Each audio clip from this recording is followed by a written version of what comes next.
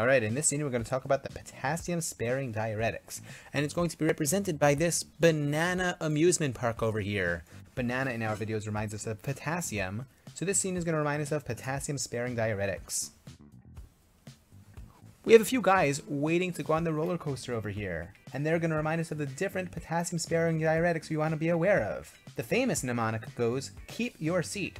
Keep, K for potassium, and seat for spironolactone, eplerenone, amiloride, and triamterene. But let's make this a little bit more visual. In the first seat over here, we see the spiral guy, the spiral lactate guy for spironolactone. Next to him, we see the up arrow guy for eplerenone. Now where's the third guy? He's actually on a ride. Let's take a look. This is the meal on a ride. Meal on a ride for amiloride. And we're going to explain why there's this scary insect guy next to him. And finally, we have the tricycle over here that's reading. Tricycle that's reading, or try that's reading for triamterene. So let's begin. Let's begin with mechanism of action. So if you'll note, spironolactone and eplerenone here are sitting on this Waldo stone. It's like a stone that's got a picture of Waldo on it. Waldo stone or aldo stone for aldosterone.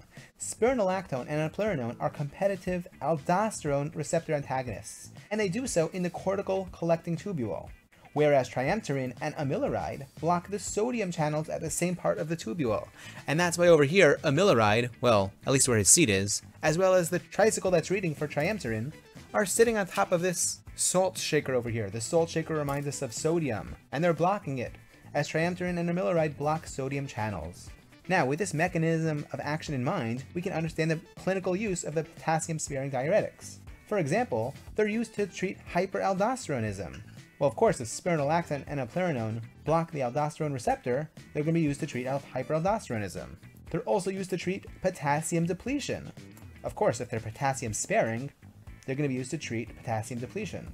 Spironolactone is actually also used to treat ascites, hepatic ascites, and that's why, if you want, you can imagine the spironolactone guy over here sighing hmm. to remind us of ascites. Now let's take a look at amiloride for a minute.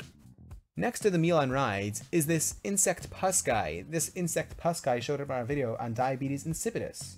And he's got dyed beads in the insect pus. Dyed beads in insect pus for diabetes insipidus. A Amiloride is also used in the treatment of diabetes insipidus, the nephrogenic type. And finally, under here we see the AND sign, next to the bomb over here. Anti-AND, or anti-androgen. Potassium-sparing diuretics can act as anti-androgens. With all this in mind, it's understandable that the adverse effects of potassium-sparing diuretics will include hyperkalemia, due to the increase in potassium, which can lead to arrhythmias. Spironolactone also has some endocrine effects, such as gynecomastia and anti-androgen effects. We can watch our video on spironolactone specifically for more on that. Alright, I hope you enjoyed this incredibly weird scene on potassium-sparing diuretics. Stay tuned for our next video in pharmacology, and take care.